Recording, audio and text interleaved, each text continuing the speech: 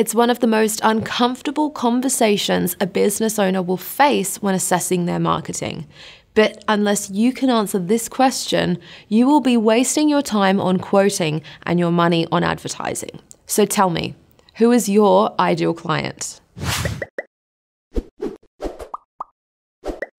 Hey, my name is Sky Stevens, co founder of the Association of Professional Builders. We're here to change the residential construction industry and improve it for both builders and consumers.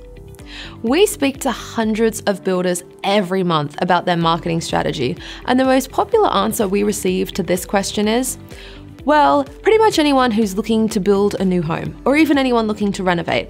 I wouldn't turn them down, or anyone looking to build an investment property, and I've done some commercial work. And that's understandable because when times are a bit lean, you don't want to miss out on a single opportunity.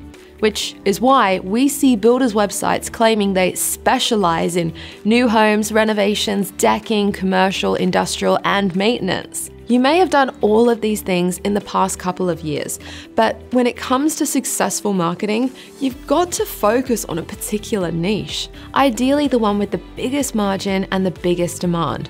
Once you have the niche, you can drill into the profile of the client who is most likely to buy from you and will be a pleasure to work with. You have to be specific.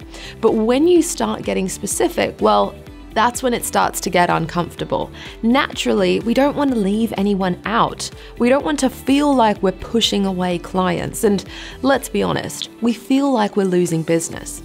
The problem is, you can't create persuasive, targeted marketing when you're trying to appeal to 10 different types of people at once.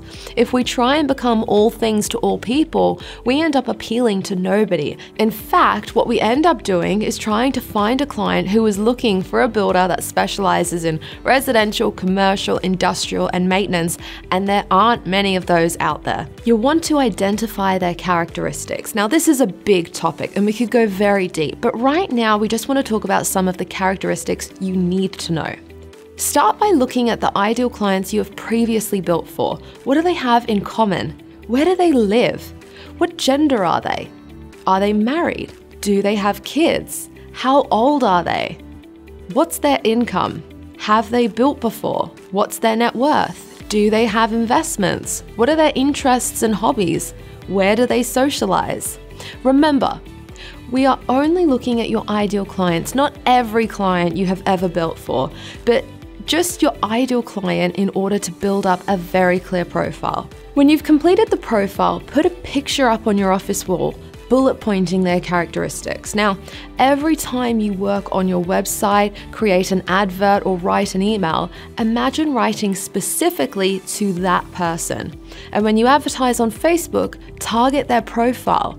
Once you start sending visitors to your website, you can start targeting lookalike audiences, which will send visitors with similar profiles to your website. By doing this exercise, you will save thousands of dollars in advertising and reduce the amount of time spent quoting jobs that you don't win by up to 80%. To learn more about targeting the right audience and how you can generate more quality inquiries, click on the link below.